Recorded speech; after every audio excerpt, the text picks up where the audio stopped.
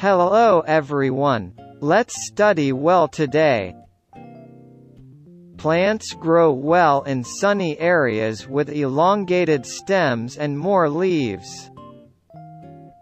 Now, this is a picture of the potato field and the potato leaves seen from above. Look at the plants in the sun and discuss what you noticed. The whole potato is well exposed to sunlight and is growing well. There is nothing in the field that blocks the sunlight. The leaves are spreading and the sunlight is getting better. The leaves are facing different directions. Because of that, they are easily exposed to sunlight. I agree. So why do you think plants grow when exposed to sunlight? Let's think about it and keep in mind the contents of plant germination and growth that we learned in the fifth grade. I needed starch in the seeds to germinate. I think that starch is necessary for plant growth as well as germination. I think starch is formed when exposed to sunlight. The potato leaves are well exposed to sunlight. When the leaves are exposed to sunlight, I wonder if the starch necessary for growth can be produced on the leaves. Let's make this a problem. Will the leaves of a plant produce starch when exposed to sunlight? If you write a problem, let's make a hypothesis.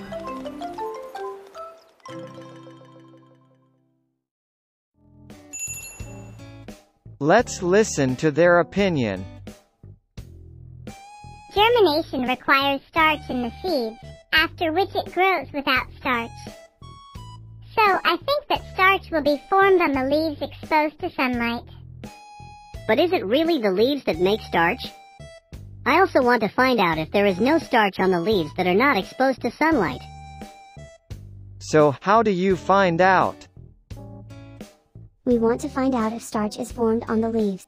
It is good to compare the leaves that have been exposed to sunlight with those that have not been exposed to sunlight. We can check if there is starch on the leaves by using iodine solution. You used iodine solution when you were in the fifth grade.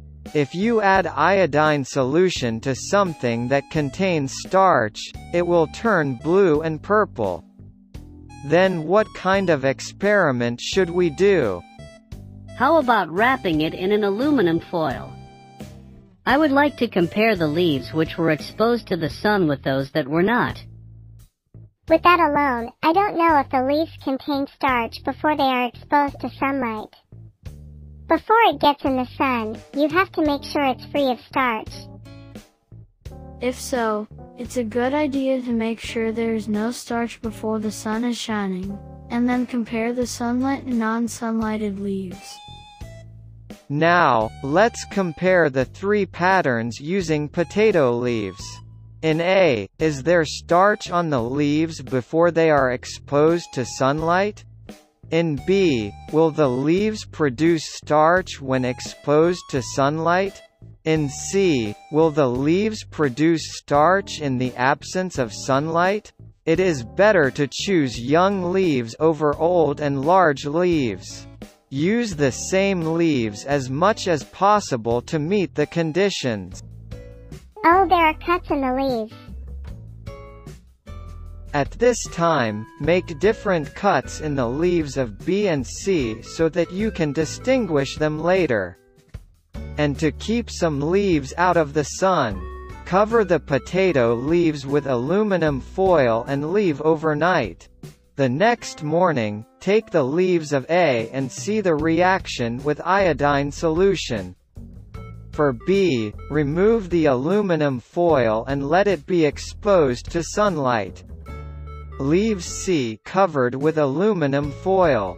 After 4 or 5 hours, remove the leaves of B and C and check for starch as in A then, it is an experiment using iodine solution.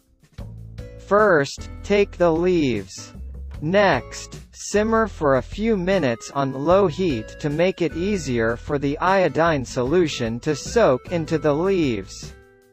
Let's not lose its shape after passing. At this time, wear protective goggles to prevent hot water and chemicals from getting into your eyes. Also, since the heated equipment is hot, do not touch it until it cools down. After boiling, wash with water to thoroughly remove the oil from the leaves. It is also to cool the leaves because the iodine solution does not react accurately at high temperatures. Finally, add iodine solution and watch the reaction. As you can see the reaction, use iodine solution that is as strong as black tea.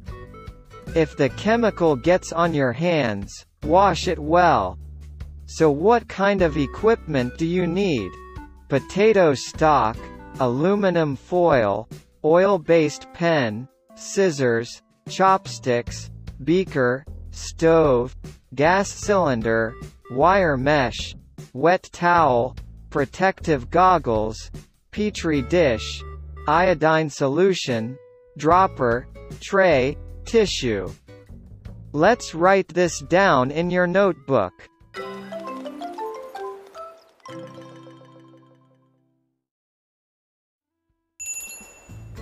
Let's check the experimental results.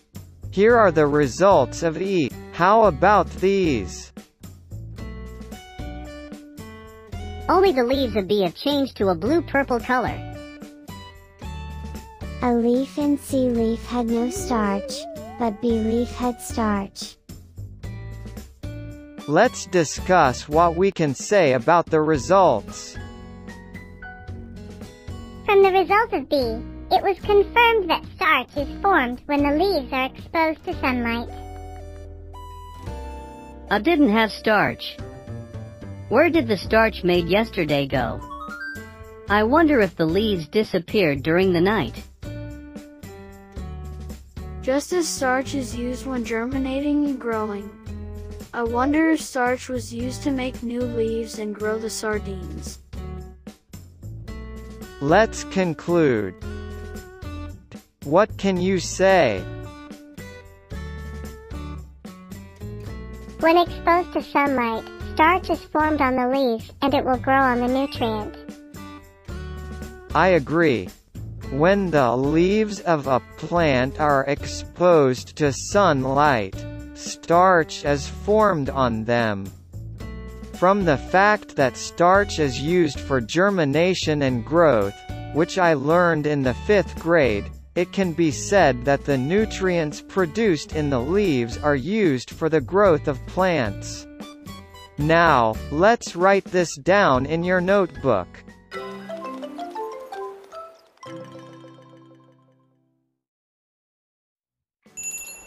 Starch is transported and used throughout the plant's body as a nutrient for the growth of the plant. However, starch cannot move through the plant's body in its original form. Therefore, it was changed to something called sugar, that dissolves in water at night. It is carried through the wood to each part of the plant's body. The reason why the iodine solution does not react easily even when examining the stem is that starch is sugar. Sugar is carried to various parts of the body and used as a nutrient for growth, and is also converted into starch and stored in fruits, seeds, and potatoes. When iodine solution is applied to the cut end of potatoes, it turns bluish-purple. Here is a view of potato starch dyed in bluish-purple at 40 times, 100 times, and 400 times under a microscope. This is the end of this class. See you in the next video. Thank you for watching.